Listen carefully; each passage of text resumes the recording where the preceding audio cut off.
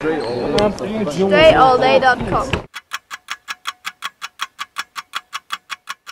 Start this move with a two-step cross here, then an in and out cross. I'll kind of put a little pause after that two-step cross. I'm gonna use an in and out crossover. I'm gonna jump off one foot, finish with the floater, shooting with the right hand, moving to the left. So you could also drive this all the way into the basket if you want. You can shoot it off your left. You can jump off two feet. Whatever you need to do, work on different ways of doing it. So when you get in a game situation, whatever situation presents itself, you'll be able to react to it. Make sure you are subscribed to catch all the new content I'm putting out, new videos every single day.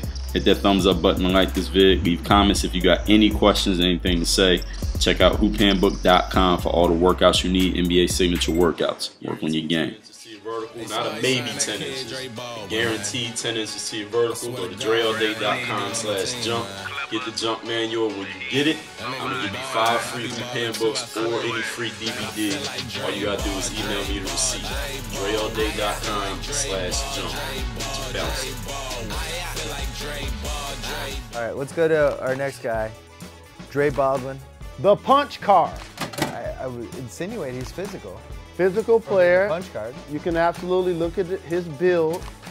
That would be a player that you hope to be your physical presence. Unless he photoshopped his body on someone else. He looks like the kind of guy that's going to show up with four carloads of family and friends.